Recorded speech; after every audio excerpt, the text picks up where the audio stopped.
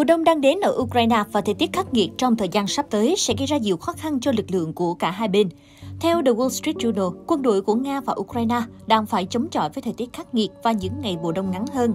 Điều này sẽ ảnh hưởng đến sức khỏe và tinh thần của binh sĩ, làm giảm hiệu quả của vũ khí và các cảm biến thu thập thông tin tình báo. Đồng thời, các khó khăn hậu cần sẽ tăng lên gấp nhiều lần. Ông Mykola Biliesko, Nhà nghiên cứu tại Viện Nghiên cứu Chiến lược Quốc gia ở Kiev cho biết, chiến tranh trên bộ nói chung là rất gian nan. Chiến tranh vào mùa đông lại khó khăn gấp đôi. Để thực hiện một cuộc tấn công lớn, thời tiết âm 15 độ C sẽ là một thách thức cho cả hai bên. Hậu phương của Ukraine sẽ là nơi đầu tiên chịu tác động của mùa đông.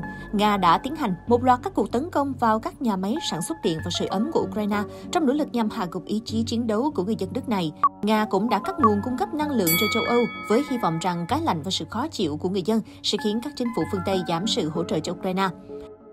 The Wall Street Journal dẫn lời ông Ben Barry, chuyên gia về tác chiến trên bộ tại Viện Nghiên cứu Chiến lược Quốc tế ở London, Anh cho biết, thời tiết xấu sẽ ảnh hưởng đến cả hai bên và có khả năng làm chậm nhịp độ giao tranh.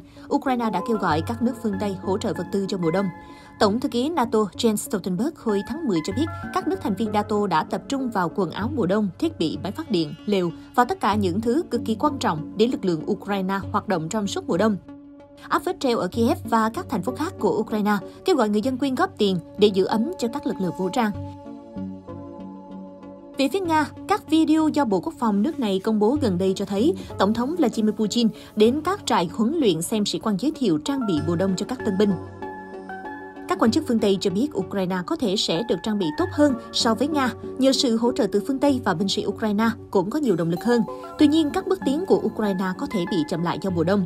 Trong khi đó, các nhà phân tích phương Tây cho rằng Nga có công việc dễ dàng hơn khi chỉ phải bảo vệ những khu vực đã giành được quyền kiểm soát. The Wall Street Journal cũng dẫn lời chỉ huy một đơn vị Ukraine ở miền đông nước này cho biết mùa đông sẽ khiến các binh sĩ khó ẩn náu hơn nhiều. Trận chiến ở miền đông Ukraine gần như là cuộc đọ sức của các lực lượng pháo binh. Quân đội Ukraine sẽ khai hỏa, sau đó nhanh chóng di chuyển đến một địa điểm khác vì biết rằng nhiều khả năng Nga sẽ tấn công vào vị trí mà các quả đạn vừa được bắn ra. Khi tuyết rơi các máy bay không người lái của Nga, có thể nhìn thấy rõ dấu vết di chuyển của các phương tiện Ukraine trên tuyết và qua đó xác định vị trí mà lực lượng Ukraine di chuyển đến. Nếu binh sĩ Ukraine đốt lửa để sưởi ấm, cùng với việc cây đã rụng hết lá, Nga sẽ dễ phát hiện ra họ hơn. Khoảng thời gian khắc nghiệt nhất sẽ là vào tháng 11 và đầu tháng 12, thời điểm mà người Nga gọi là Rasputitsa. Khi đó, những con đường sẽ trở nên vô cùng lầy lội, mặt đường sẽ cứng lại và dễ di chuyển hơn khi trời lạnh dần cho đến lần Rasputitsa tiếp theo. Lúc này mùa đông sẽ dừng chỗ cho mùa xuân. Trong điều kiện như vậy, bên nào chuẩn bị tốt hơn và biết nắm bắt thời cơ thì sẽ có lợi thế hơn để tiến công. Ông Yuri Bereza, chỉ huy tiểu đoàn Dnipro 1 của vệ binh quốc gia Ukraine đóng tại tỉnh Donetsk cho biết, 1.500 binh sĩ dưới quyền chỉ huy của ông đều được trang bị ủng và chăn ấm dự phòng khi bước vào mùa đông. Ông cũng cho biết họ đã dự trữ nhiều gỗ và bếp giả chiến. Chỉ huy Bereza cho biết cả hai bên sẽ gặp khó khăn khi nhiệt độ giảm và mặt đất đóng băng, nhưng ông tin rằng Nga sẽ phải chịu nhiều thiệt hại hơn vì trang thiết bị của Ukraine hoạt động tốt hơn trong điều kiện nhiệt độ thấp. Các blogger ủng hộ Điện Kremlin đã phát động các chiến dịch gây quỹ trong cộng đồng để mua quần áo ấm cho lực lượng Nga được huy động sang Ukraine. Một blogger quân sự Nga có biệt danh Kutinok Z nói các hoạt động quân sự của Nga sẽ sớm bị thời tiết cản trở đáng kể. Ông nhận định trong thời kỳ Rasputitsa, tiền tuyến ở hầu hết các nơi sẽ ổn định và trận chiến sẽ tiếp diễn trong các chiến hào.